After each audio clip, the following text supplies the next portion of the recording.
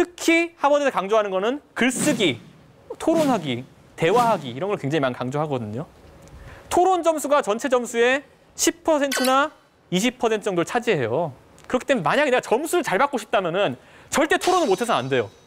하버드는 4년 다니고 남는 게 뭐였냐면은 토론에서 지지 않는 법을 배우게 된다고 해요. 토론에서 이기는 방법이랑 토론에서 지지 않는 법은 달라요. 그리고 절대 남하고 대화하지 않으면 안 돼요. 토론은 어떤 거예요? 토론을 잘하려면은 내가 뛰어나야 되는 것도 있지만 상대편도 뛰어나야 돼요. 저도 100분 토론 같은 데 많이 나가야 됐지만은 상대가 재밌으면 저도 재밌어요. 상대가 진짜 허접한 사람이면은 저도 나태해져요. 하버드가 가진 문화는 그거예요. 서로 토론하고 서로 상대편이 잘 돼야 나도 잘 된다는 마음으로 경쟁할 수 있는 게 하버드인데 우리나라는 그렇지 않았어요. 제가 중학교 때 경험해 본 거. 제가 열심히 노트 필기 하나요. 휙 다음 날 쓰레기통에서 발견되네요. 누가 버려버린 거예요.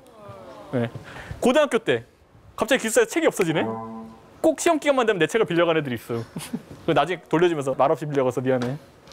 그러니까 특히 경쟁의 최상위에 있는 집단들, 예를 들어 뭐 과학고나 아니면 좋은 대학교 이런 데 가면은 그런 이유로 승리하려는 사람들도 있어요. 그런데 미국에서는 그게 절대 안 통한다는 거. 내가 잘 되려면 남도 잘 돼야 되고 항상 그 팀으로 같이 팀워크를 강조한다는 거.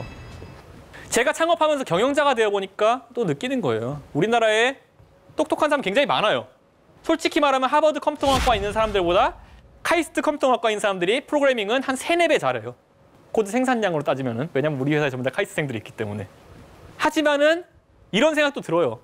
하나로서 굉장히 우수한 사람들이 팀을 이루기 시작하면서부터 굉장히 삽질을 많이 하는 거예요, 한국에서는.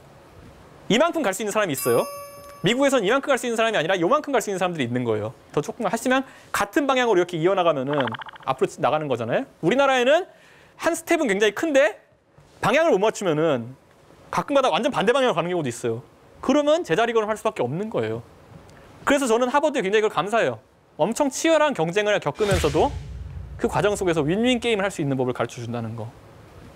그리고 하버드에서는 또 뭐가 있냐 시간 관리하는 법 많이 배워요. 아까 제가 말했지 경쟁하는데 서로 윈윈하는 경쟁할 수 있는 법 배운다는 거. 그게 시간 관리의 힘이에요. 그러니까 남이 잘하는 것다 습득해 나가면서 시간 쪼개서 사용하는 법.